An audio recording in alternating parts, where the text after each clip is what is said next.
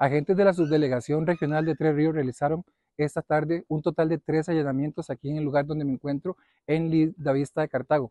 Esto con la finalidad de detener a dos personas quienes el día de ayer trascendieron como sospechosos de haber encañonado a unos oficiales del OIJ que se encontraban en, por la zona realizando labores propias del cargo. Importante destacar que con estos allanamientos se están deteniendo a esas mismas dos personas que realizaron esta acción en contra de los efectivos policiales.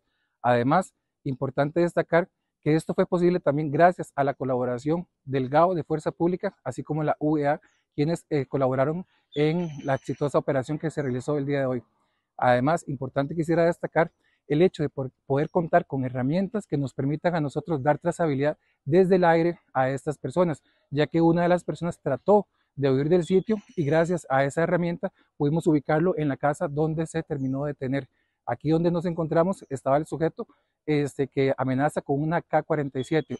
Importante destacar el hecho de que cuando una persona es interceptada con un arma de alto calibre como una K-47, una R-15, M16 o cualquiera de estas este, armas que, son, este, que pueden utilizarse en ráfaga, eh, no existe una ventaja realmente para la policía o una posibilidad real de hacer una eh, repeler el ataque por medio del armamento de armas 9 milímetros que tiene el organismo de investigación judicial en todos sus agentes. Es por ello que es importante también hacer compras de AR-15 para que estos oficiales puedan tener también una forma de poder defenderse y hacer y contrarrestar las situaciones que les suceden en su diario accionar. Con esta acción, el OIJ responde rápidamente y contundentemente ante una situación que afectó la seguridad del país. Hablando también con la importante colaboración del grupo táctico del OIJ para poder asegurar y brindar mayor soporte a los investigadores judiciales.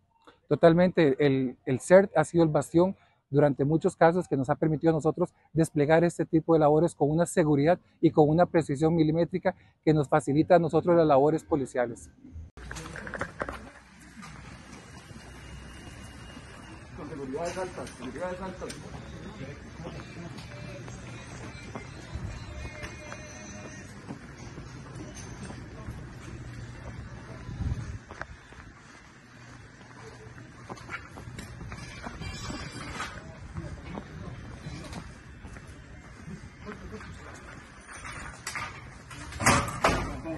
La policía! ¡Policía, policía! ¡Policía!